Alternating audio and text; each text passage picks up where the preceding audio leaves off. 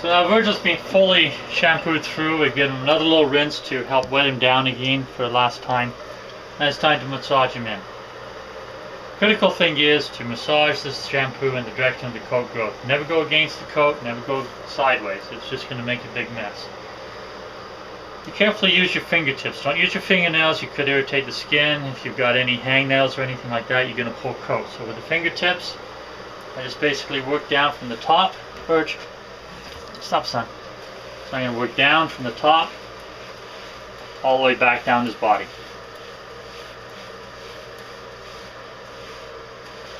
Not too quickly. You don't want to end up thumping the dog by accident. I'm sure we've all had fingertip bruises from being grabbed by someone too hard. You don't want to do that all over him. And working the shampoo down the shape of the back leg. You end up getting a pretty good suspension on your fingers and it's soothing to them and you're working the shampoo well.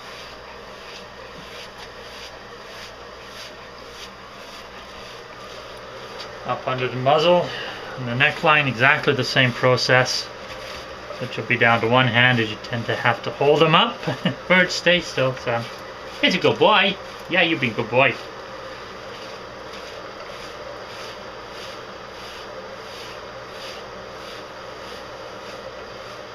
and again judge from how long it takes to shampoo your own hair that sort of rates of how quickly you rub it to be about the same thing with them.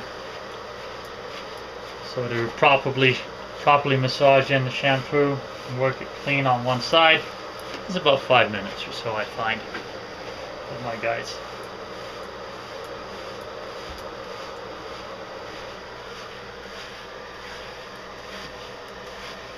I do tend to support the hair under the belly with my backhand.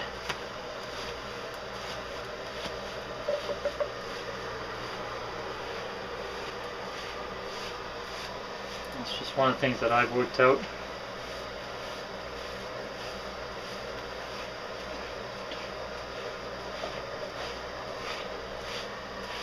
Although I will soap out both sides at once, Very specifically, methodically massage the shampoo, work it through on one side at a time.